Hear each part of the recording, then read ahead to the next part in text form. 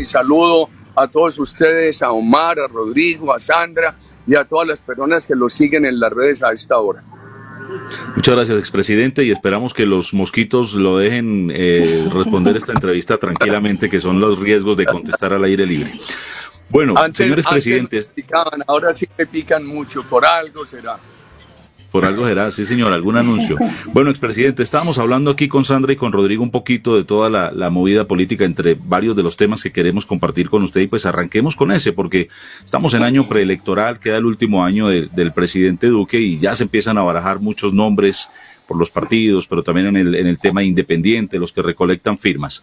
En el caso del Centro Democrático, su partido, pues se escuchan nombres. María Fernanda Cabal, Oscar Iván Zuluaga, Eduardo Rodríguez, Ernesto Macías, pero no hemos escuchado de usted, presidente, si usted como, como cabeza visible del Centro Democrático ya tiene definido ese tema, o si el partido ya lo tiene definido, o si harán una consulta interna. Eh, todos sabemos que eh, se oyen muchas opciones, pero eh, em, lo que se espera es saber el líder natural del Centro Democrático si ya tiene su elegido, expresidente.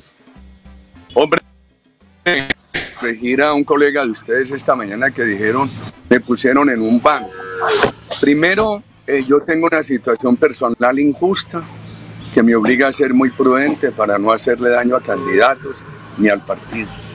Segundo, le he pedido al partido que nosotros necesitamos lo que yo he llamado un equipaje del gobierno. Lo venimos pidiendo desde agosto del año pasado.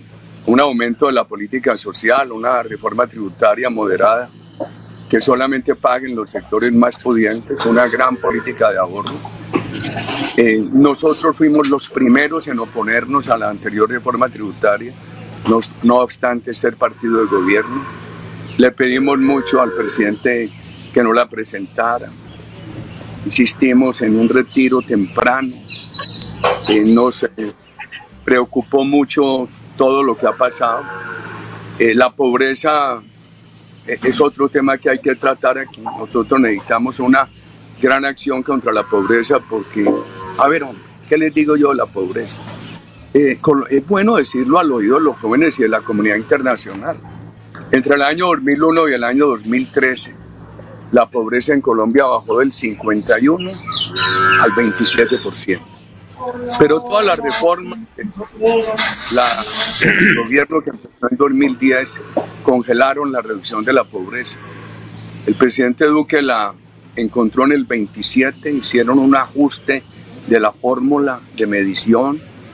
Dijo el DANE que estaba en el 34, con la pandemia se ha subido al 42 y medio. Eso es dramático. Por eso nosotros hemos dicho que lo que ha hecho el gobierno frente a la pandemia es bueno, pero que tiene que hacer mucho más. Para nosotros es fundamental avanzar en esa política social, con esta reforma tributaria que ayudamos a gestar mucho, que el presidente la anunció desde el 30 de abril. Me da tristeza que se haya perdido tanto tiempo porque sobre esta reforma tributaria que se está anunciando ahora hay un consenso desde hace varios meses y la política social no da tiempo. Lo que tenemos es un enorme riesgo para la democracia. Entonces le he pedido al partido que nosotros, cualquier precandidato que quiera agitar sus tesis, pues lo hace. Es un partido democrático, es un país libre, pero que nosotros no entremos oficialmente en campaña ni de presidencia ni de Congreso, sino de hasta tener aprobada la reforma tributaria y la reforma de ampliación de políticas sociales porque con pobreza el 42 en medio que le vamos a decir al país, queridos amigos. Pero además una gran política de ahorro que está prometida por el partido, por el gobierno y que hay que cumplirla. Esos son como los dos prerequisitos. Presidente Uribe, eh, como usted lo dijo eh, hace un momento, usted fue uno de los políticos, de los, de los líderes que le pidió, le dijo muchas veces, le rogó al gobierno nacional, al presidente, que no presentaran esa reforma tributaria que después tuvo que ser retirada. Usted está conforme ahorita, está de acuerdo con el texto que se, que se presentó el martes pasado en Casa de Nariño y que se va a radicar ahorita el 20 de julio, y como cuáles son esos puntos que a consideración suya, eh, eh, esas tareas que van a seguir, que van a estar en beneficio de los colombianos. Sandra, eh, nosotros ayudamos a crear este consenso. Y yo diría lo siguiente, la economía colombiana, por el gasto público, el exceso de impuestos, la expansión burocrática, la mermelada, se estancó mucho. Después de tener crecimientos casi del 7, del 5, se estancó mucho desde el 2013. El presidente Duque la encontró paralizada. Los impuestos que él bajó en el año 2018 y 2019 ayudaron muchísimo a recuperar la economía. Venía muy bien hasta marzo del año 20, que entró la pandemia. Vino la pandemia, todo se afectó, todo se afectó. La respuesta del gobierno ha sido buena, pero insuficiente. Pilar, déme otro cafecito, que esta es una entrevista muy seria. Y ustedes toman cafecito por allá en el campo, muchachos. Todo el tiempo, campo, ciudad, donde estemos, tierra caliente. yo no voy a publicarlo porque uno no es médico. Un estudio de un instituto internacional del que el café ayuda a algo frente a algunas enfermedades como el COVID. Bueno, bendito sea mi Dios. Entonces, la reforma tributaria del 18 repetida en el 19 bajó los impuestos. Trajo una serie de incentivos muy importantes. La economía colombiana se desempeñó muy bien en el 19 hasta marzo del 20. Desde agosto del año pasado le dijimos al presidente, presidente, ustedes lo, lo, que están haciendo frente a la pandemia es bueno, insuficiente, amplíen una pequeña reforma tributaria que paguen los más pudientes. Bueno, vino lo que vino, ustedes ya se refirieron, me preocupa porque aprecio mucho a Alberto Carrasquilla, nosotros le dijimos de muy buena fe al presidente que no la presente. Lo nuevo, que ayudamos a construir consenso, ¿sí? Es una reforma de más o menos 15, 16 billones. Yo diría que tiene tres elementos. Unas rentas que pagan los sectores más pudientes, más políticas anti-evasión, un ajuste de la regla fiscal y toda la política social. En cuanto a las rentas, hablemos del impuesto de renta empresarial. Primero, digámosle a, los, a las personas que lo siguen que no se aumentan impuestos a las personas naturales, ni se modifique el IVA. Eso que quede muy, muy claro. ¿Qué pasa con la renta empresarial? Queda en el 35%. Cuando oía al doctor Cavada, uno tiene que conocer la, la película, no solamente la fotografía. Tienen que considerar lo siguiente, queridos amigos. ¿En cuánto estaba la renta cuando llegó el presidente Duque? Estaba en el 42 que es la suma del 37 más 5 puntos del CRE. Recuerdan ustedes el CRE que se pagaba para la seguridad social. El presidente Duque bajó esa renta empresarial al 30 gradualmente, está en el 31, ahora queda en el 35. Segundo, hay una, un 35 muy inferior a lo que el presidente encontró. Eso hay que tenerlo en cuenta. Porque esta reforma tiene la virtud de que aumenta razonablemente los impuestos, pero no afecta la competitividad del país en materia de inversión. Segundo, la sobretasa al sector financiero hasta el año 2025. Está bien. Yo defiendo que el país tenga un sistema financiero sólido. ¿Qué tal que no, amigos? Pero está bien que contribuya. Está bien que contribuya y uno pide que el sector financiero lo entienda, lo entienda. Y tercero, un incentivo muy importante. Mire, una empresa de mucho volumen, de poca utilidad, le va muy mal con el impuesto que se llama de industria y comercio. Porque es un impuesto, si usted vende 100 pesos en Bogotá, sin considerar los gastos suyos, le tiene que pagar a Bogotá, industria y comercio, no por su utilidad, sino por los 100 pesos. O sea que es un impuesto que afecta mucho a empresas de volumen, de empleo y de poca rentabilidad. ¿Qué se hizo en el 2019? Se dijo, hombre, lo que usted pague en una ciudad por industria y comercio lo puede restar del impuesto nacional. ¿En qué queda ahora? Reste, pero apenas la mitad. Si usted le pagó a Bogotá 100 pesos, no reste los 100, sino reste 50. Eso le sigue ayudando a las empresas y le ayuda al gobierno. Esas son tres rentas fundamentales. Quiero yo que he hablado tanto de estas rentas todo este tiempo y de la necesidad, quiero decirle al sector empresarial lo siguiente, se preservan incentivos de inversión. Primero, ya vemos que la tarifa corporativa de empresas es inferior a la que había. Segundo, se acaba el impuesto al patrimonio. Ya se había acabado para las personas jurídicas, para las empresas, y se está acabando este año para las personas naturales. Eso que se había definido desde el 19 no se toca. Tercero, otro incentivo muy importante, se devuelve el IVA a los bienes de capital. Si ustedes compran un equipo para su estudio y tienen que pagar IVA, al año siguiente les devuelven ese IVA. Cuarto, todo lo que son los estímulos del gobierno al sector de la cultura, audiovisuales, etcétera, esos estímulos, queridos amigos, se mantienen. Lo que se hizo en la reforma tributaria del 19, que fue bajar la cotización de salud de los pensionados de menores ingresos. Eso se mantiene. O sea que desde el punto de vista tributario yo diría, esto lo pagan fundamentalmente sectores pudientes. Segundo, se preservan unos incentivos muy importantes para la inversión de Colombia.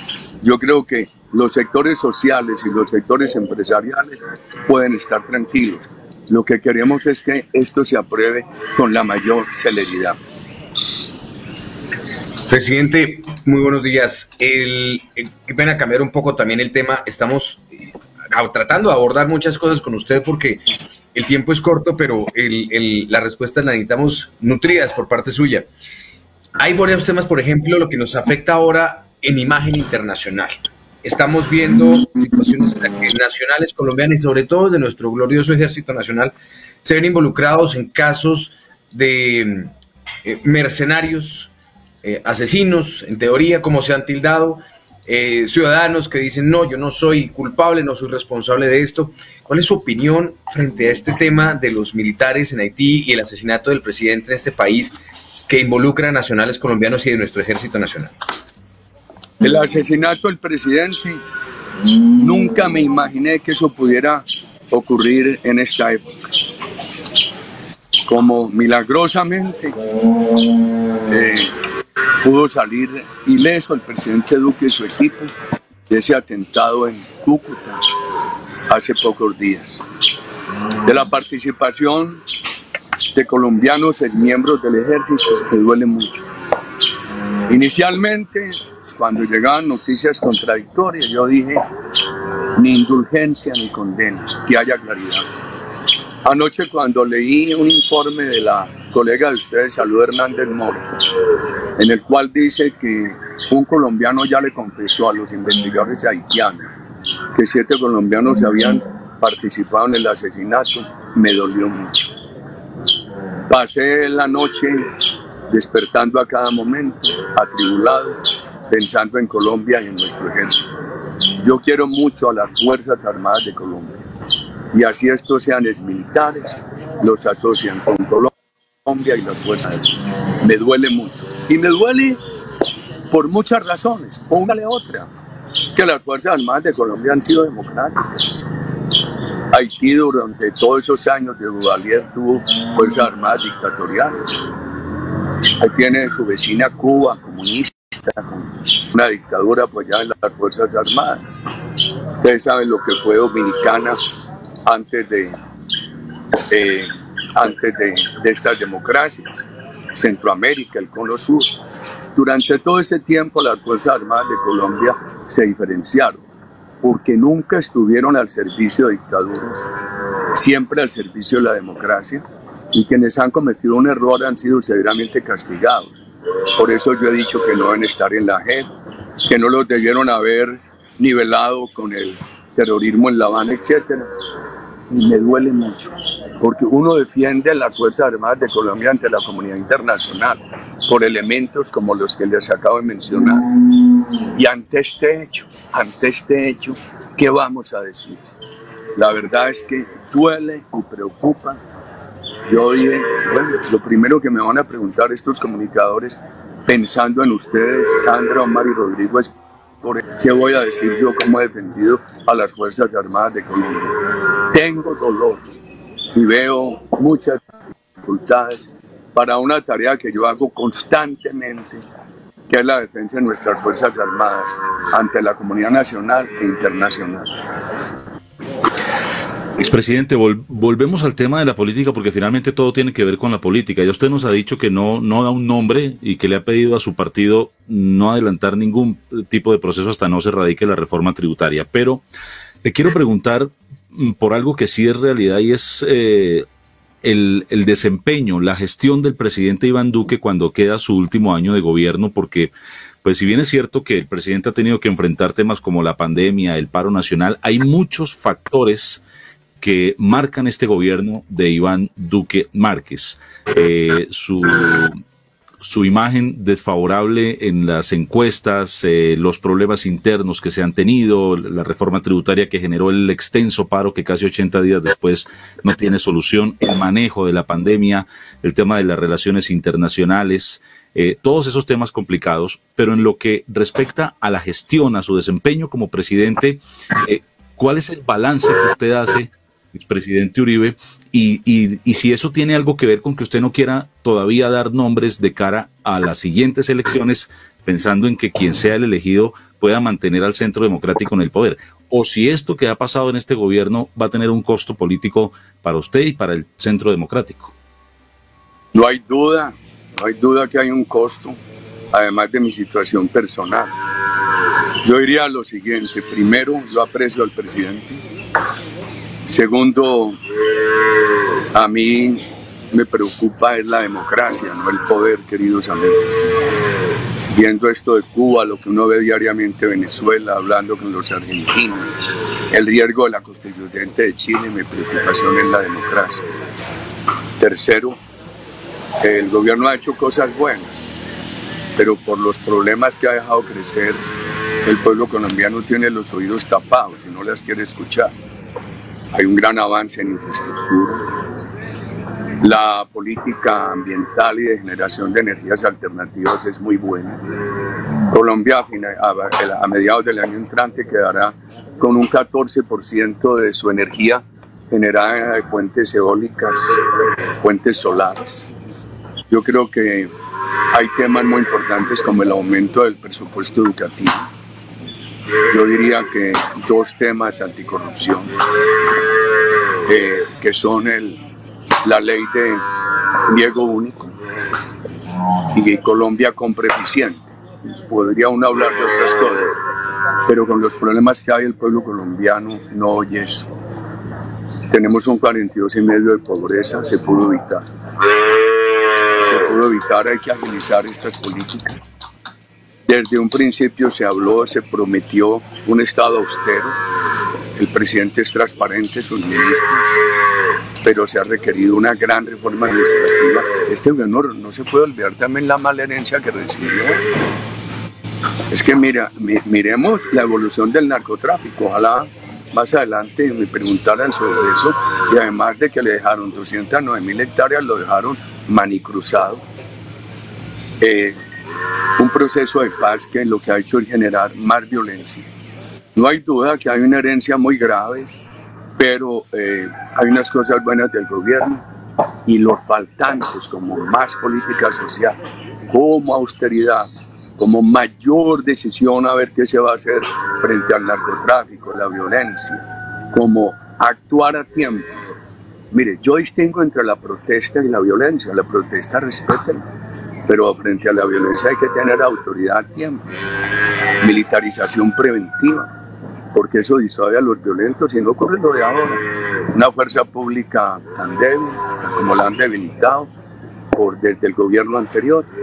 Entonces los violentos aprovechan, se avalanchan contra la fuerza pública y todo termina como lo hemos visto en videos en las calles de Colombia. Enfrentamientos cuerpo a cuerpo, contusos, heridos, violación de derechos humanos.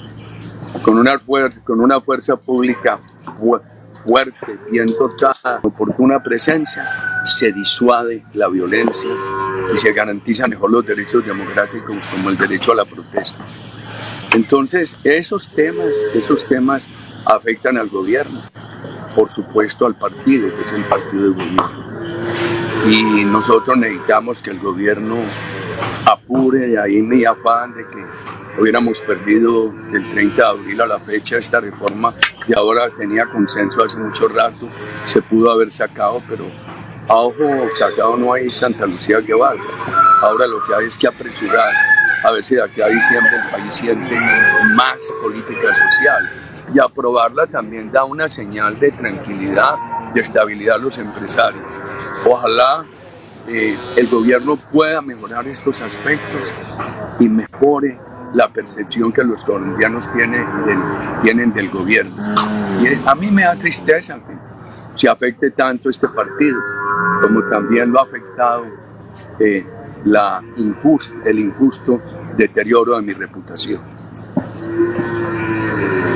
Presidente Uribe, eh, hablando del tema del paro, del que Omar ya, ya le lleva la cuenta casi 80 días de paro, ¿Usted cómo vio eh, el manejo que se le dio por parte del gobierno nacional a todo este tema del paro, a, todo el vandalismo, bueno, todos los hechos que se, que se presentaron en el marco del paro? ¿Y qué opinión le merece el, el resultado, el informe que dio la Comisión Interamericana de Derechos Humanos eh, hace algunos días?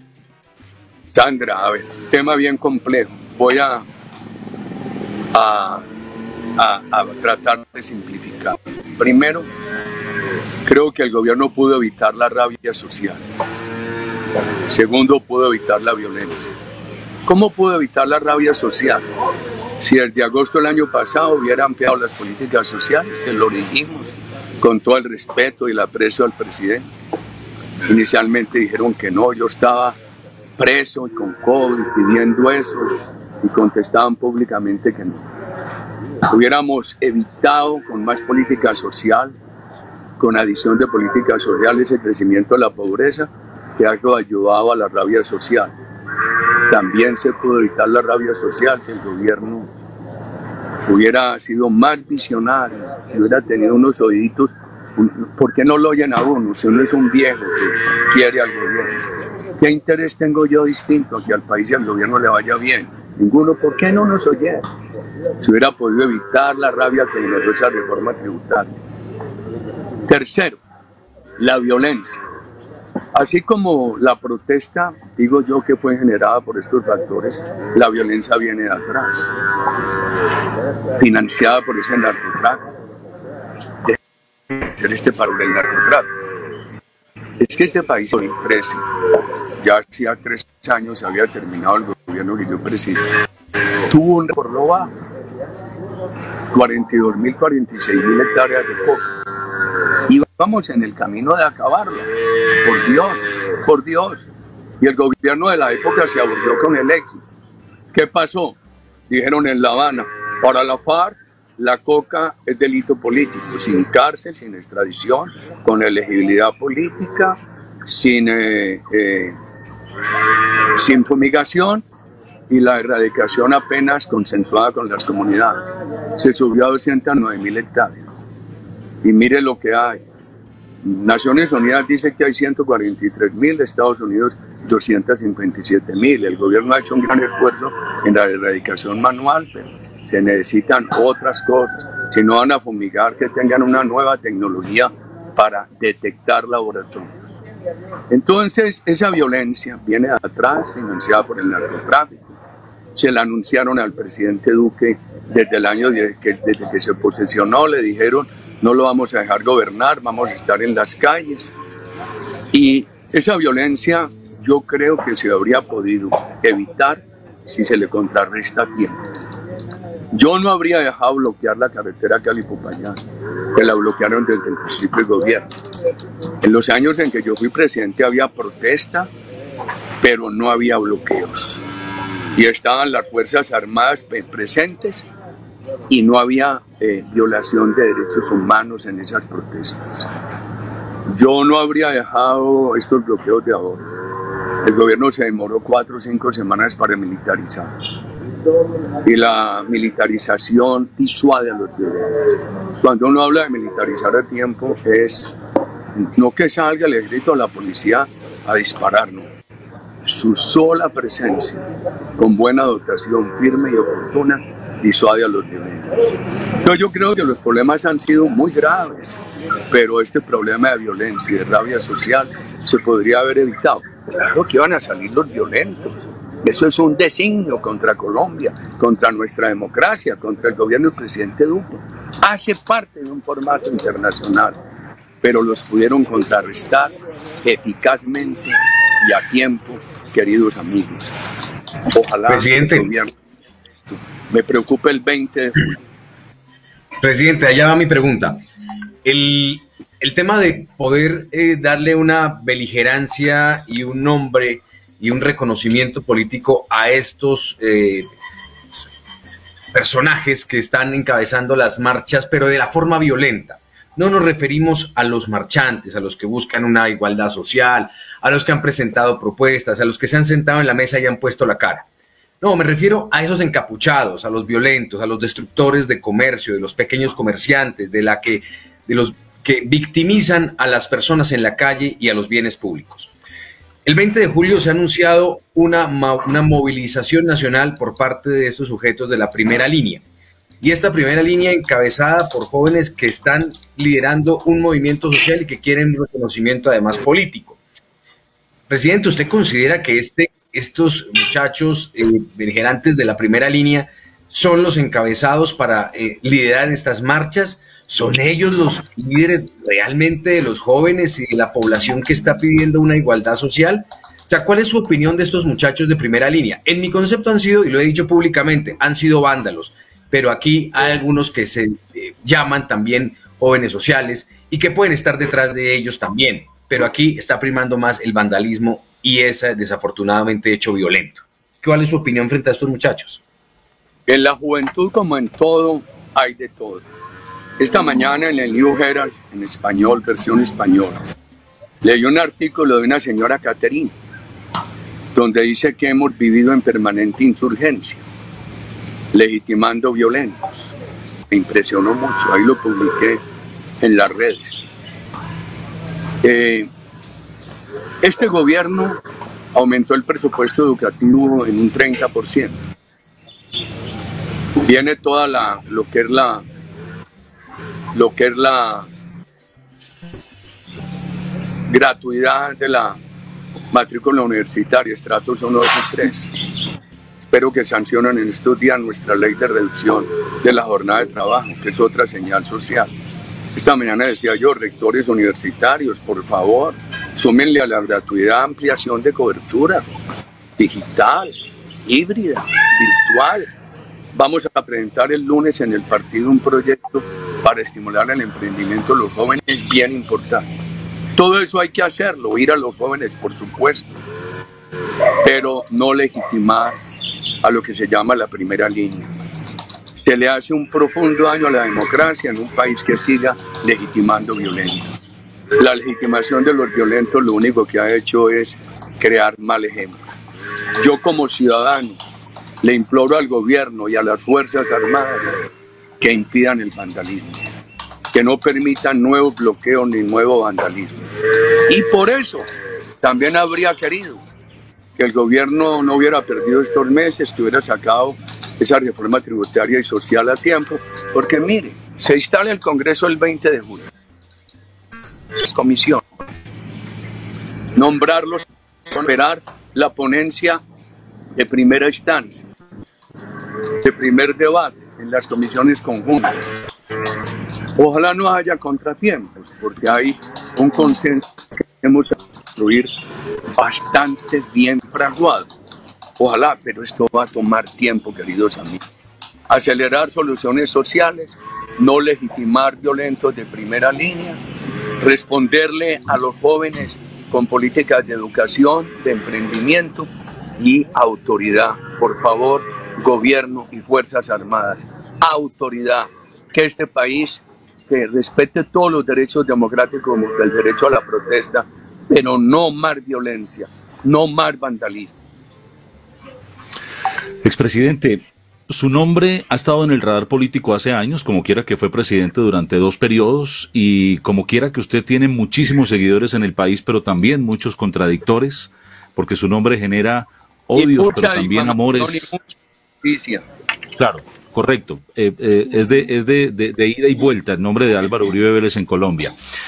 En ese orden de ideas, señor expresidente, quienes están en su condición, como Ernesto Samper, César Gaviria, Andrés Pastrana y Juan Manuel Santos, asistieron a la Comisión de la Verdad que preside el padre de Ru. Eh, usted no lo ha hecho y entiendo que, que no ha querido hacerlo, pero ¿no cree usted, expresidente, que es una muy buena oportunidad para contarle al país a través de la Comisión de la Verdad sobre temas tan importantes y tan sensibles como por ejemplo los falsos positivos y que quienes lo quieren a usted y lo siguen y quienes son detractores suyos puedan escuchar de su voz y no de rumores, de ideas, de, pensamientos ajenos, sino de usted como quiera que estuvo en el poder ocho años en Colombia sobre estos temas a través de un mecanismo como el de la Comisión de la Verdad. ¿Usted ha considerado en algún momento, expresidente, eh, ir a la Comisión de la Verdad? A los jóvenes le dicen, este país está peor porque Uribe lo lleva manejando 20 años.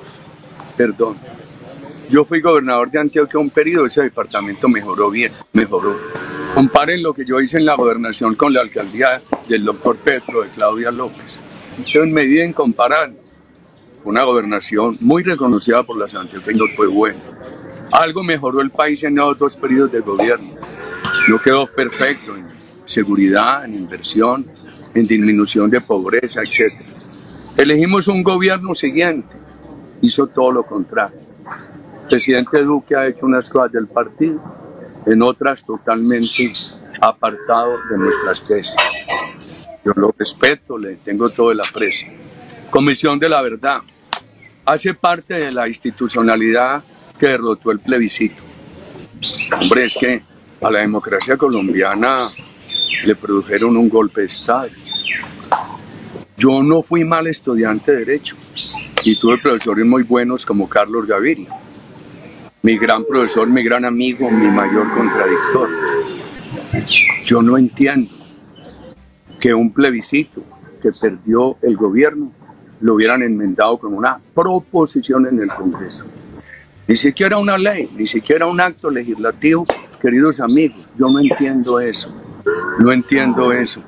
Eh, y mire, recuerdo que el doctor de la calle y el gobierno decían, que si perdían el plebiscito no habría acuerdo de La Habana, que quedaba derogado. La noche que no ganó el plebiscito, nosotros reiteramos lo que habíamos dicho. Queremos que haya acuerdo, pedimos una, una, un pacto nacional para reformar los textos. No se quiso. Yo tengo un deber con los colombianos que votaron ese no. Y una de las objeciones que yo tengo, y lo digo con cariño que le tengo a este gobierno, es se olvidó de reformar la JEP que lo había prometido en campaña. Entonces, ¿por qué tengo que ir yo a la Comisión de la Verdad? Ahora, lo de los falsos positivos. Me refería a eso como presidente. Un libro que publiqué en 2012, hay un capítulo muy amplio.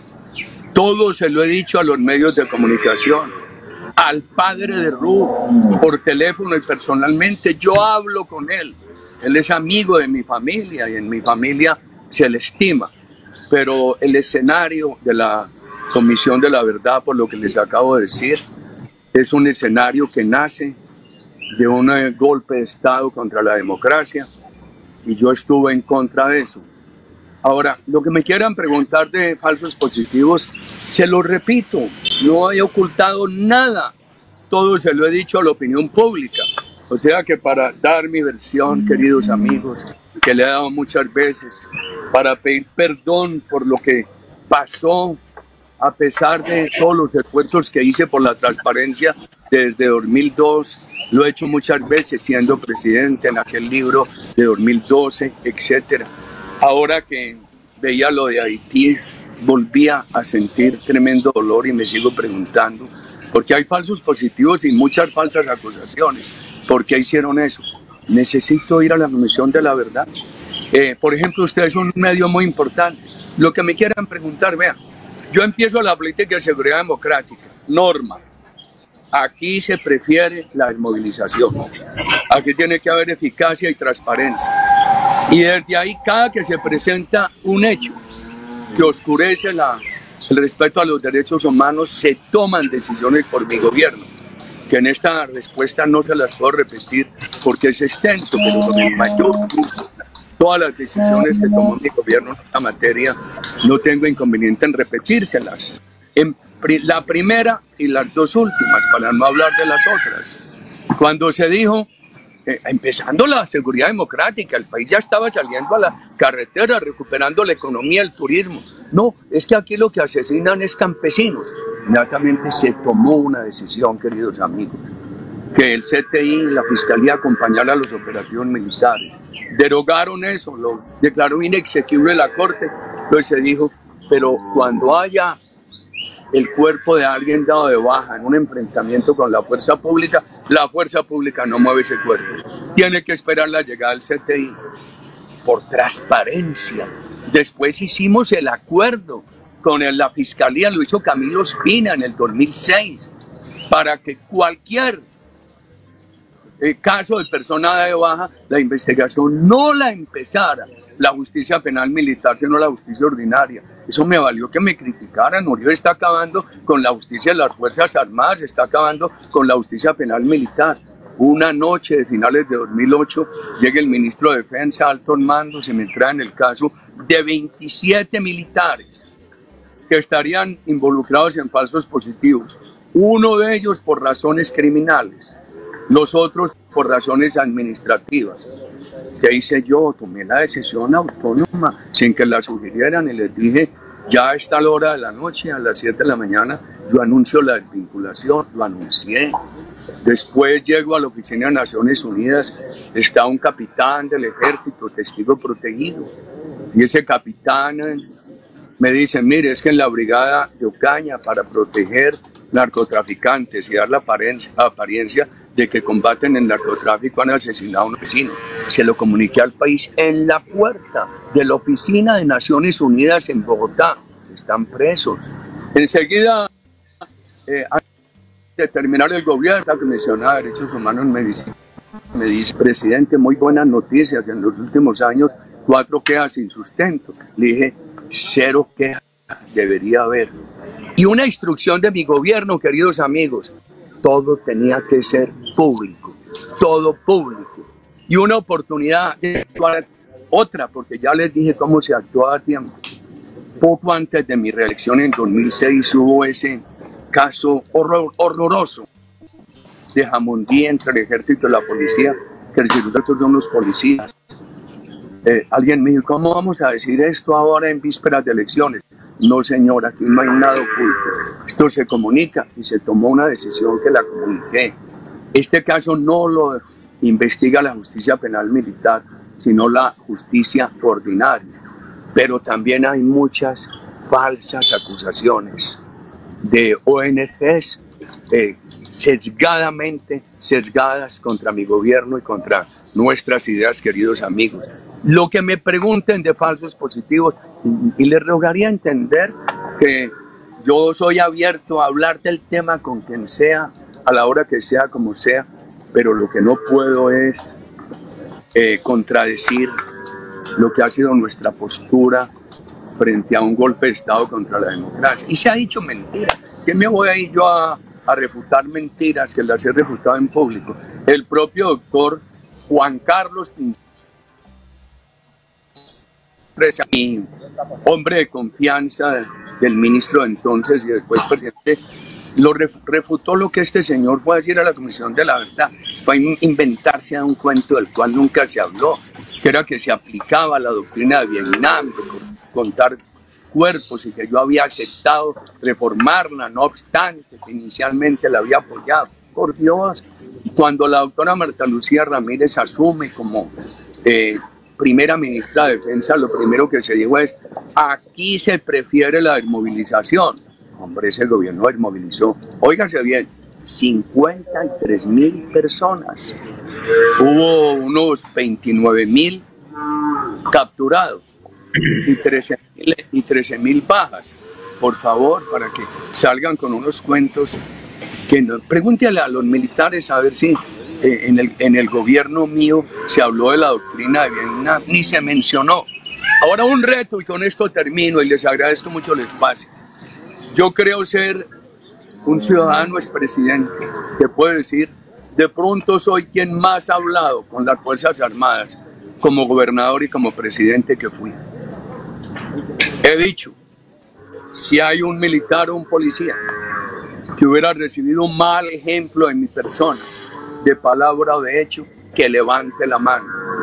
Como en materia de honradez, que he sido absolutamente pulcro en el manejo de los recursos privados y públicos, porque toda la vida he sido empresario. He dicho, si hay un contratista del Estado que pueda decir Uribe me favoreció, me persiguió, o lo sobornamos o nos persiguió por no sobornarlo, que levante la mano, queridos amigos. Estos retos no es la primera vez que los lanzo. Siempre lo he dicho a muchos colegas de ustedes y me complace mucho y estoy muy agradecido que me hayan dado el tiempo porque este portal de ustedes es muy respetable. Presidente, eh, una última acotación. En, en Colombia vamos generaciones que hemos conocido su trabajo, su mandato y lo que usted ha hecho en Colombia. Y los diferentes gobiernos que se han trazado unas metas y también unas críticas. Presidente, para estas nuevas generaciones, ¿qué va a pasar con Álvaro Uribe? ¿En qué vamos a ver a Álvaro Uribe Vélez para estas nuevas generaciones? Lo que nos resta de este mandato, la etapa electoral, ¿cuál va a ser su participación? ¿Cómo ve usted finalmente ese tema de las 16 curules que en algún momento se han planteado para las víctimas? ¿De acuerdo? ¿No de acuerdo? ¿Pero cuál es su posición? No estoy de acuerdo con esas 16 curules. No estoy de acuerdo con que las hubieran declarado aprobadas por el Congreso. Ese día eh, la Secretaría del Senado certificó que había sido rechazada. Una vez eh, termine esta, este proceso de aprobación de la reforma social y tributaria de los más pudientes, el partido debe entrar en un referéndum. Y uno de los temas que necesitamos proponerle a los colombianos, que lo venimos proponiendo desde 2003, es la reducción del Congreso, como un ejemplo de austeridad. ¿Por qué austeridad? Lo vengo diciendo desde la gobernación de Antioquia, donde hubo un gobierno muy austero en lo burocrático pero muy creativo en lo social, en lo educativo, en la salud, en las vías, etc. El Estado necesita austeridad en todo lo que es institucionalidad burocrática para poder tener permanente ampliación de políticas de atención a la comunidad. En cuanto al rol de Álvaro Uribe, hombre, yo empecé la política sin uso de razón. Era, yo nací en 1952, acabo de cumplir 69 años mis padres eran muy jóvenes. Mi madre había sido la mejor bachiller de la presentación, pero por casarse no fue a la universidad. Vivíamos en la zona rural antioqueña, con mi padre, con fincas y mis abuelos, con fincas de café, de panela, de ganado. Una violencia política tremenda, tremenda. Un día matan 10 liberales, al otro día 10 conservadores. Mis padres, especialmente mi madre, era una gran activista por el Frente Nacional, el proceso de paz de la época, y por los derechos políticos de la mujer. De las primeras elegidas en Colombia, presidente del Consejo Municipal, siempre me llevaba de la mano. Después me toca en el campo y en la universidad toda esa violencia marxista-leninista. Después aparecen los paramilitares, crece el narcotráfico, yo diría que la vida política mía es una vida sin premeditación y que va mucho más allá de haber llegado a la presidencia. Entonces ahora tengo que ser consciente de que tengo un proceso judicial muy injusto. Todos los días tengo que referirme a él, nunca lo oculto. Pido que se escuchen todas las llamadas que me interceptaron donde hay, no hay una sola prueba contra mí, pero eso me obliga a procurar a nadie hacerle daño, a nadie hacerle daño. daño. Por eso yo pido que no me pongan en bandos del partido, que yo lo que quiero es la protección del partido. Una cosa es saber ser prudente para no hacerle daño a personas y otra cosa es estar muy activo seguiremos muy activos. Yo salí del Senado, pero seguí cumpliendo mis deberes con los electores desde afuera. Por eso los proyectos aprobados como el de disminución de jornada de trabajo y el lunes a través de la bancada presentaré un proyecto para que todas las ciudades tengan que apoyar los proyectos de emprendimiento estudiantes y exalumnos. Los fondos de garantías del Estado, darles garantías para que esos proyectos puedan conseguir recursos de crédito, de capital de riesgo. Seguir de una manera que a nadie le haga daño por mi situación personal. Presidente, la última pregunta y ya lo dejamos hablando del tema del Congreso, del tema legislativo, ¿cuáles son esos proyectos, esas iniciativas que para usted deben tener prioridad ahorita en este, en este nuevo periodo legislativo que arranca el próximo martes? Sandra, primero esta reforma tributaria y social. Ojalá la política de ahorro sea muy, muy afortunada y muy ambiciosa. Y nosotros vamos a insistir en toda la política de juventud lo que va en el proyecto, como la universidad gratuita, yo creo que hay que exigirle a las universidades una gran ampliación de cobertura virtual. Hay un proyecto que viene desde el gobierno mío, presidente Duque se comprometió mucho con él, no ha avanzado lo suficiente, para que todo bachiller se gradúe como bachiller académico, bachiller técnico y con una introducción al estudio al, manejo de la, programación de computadoras.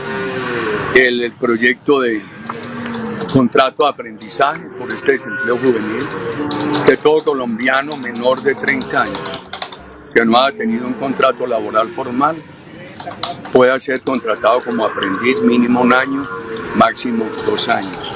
Eso puede ayudar muchísimo en fin, una serie de proyectos. Hayan venido los compañeros sacando los proyectos que dejamos en marcha. Espero que en los próximos días el presidente sancione ese proyecto de disminución de jornada de trabajo de 48 a 42 horas sin afectar el salario de los trabajadores y por razones de pandemia y aplicación gradual. Yo estoy por fuera del Congreso, tengo que atender este problema judicial, pero sigo al pie de la agenda legislativa porque siento un compromiso con los colombianos que votaron por nosotros y por los poquitos que todavía respaldan lo que ha sido mi vida pública. Expresidente Álvaro Uribe Vélez, gracias por habernos acompañado y por los eh, temas que se han tratado esta mañana en Aquí estamos. Que tenga un resto de día muy feliz.